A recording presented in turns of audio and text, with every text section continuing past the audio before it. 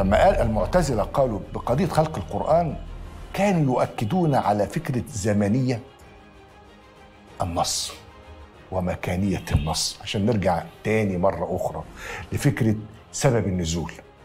مش مطلق اللفظ. كل ما نعانيه الآن في تاريخنا الإسلامي هو بياخد النص على إطلاقه. إحنا بنقول لا. إحنا لابد أن نعيد إلى خصوصية السبب وسبب النزول. في كل آية في القرآن لها سبب. ولذلك لما نقول أن القرآن نص محدث زمني مكاني ليس ازليا وليس ابديا نعيد تفسير الآية التي نزلت في حدث معين وتاريخ معين وفقا لهذا المنهج المعتزلي